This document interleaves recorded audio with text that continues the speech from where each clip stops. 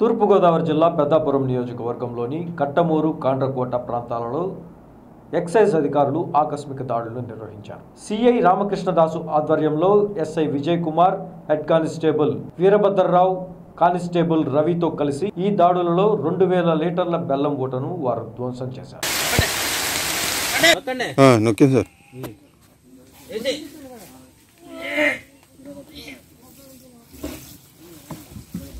Sir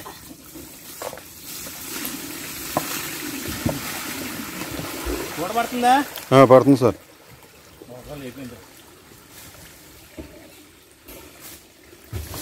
పంపండి పంపండి ఆ, వీడియో. కట్ చేసి అక్కడ కంటిన్యూ.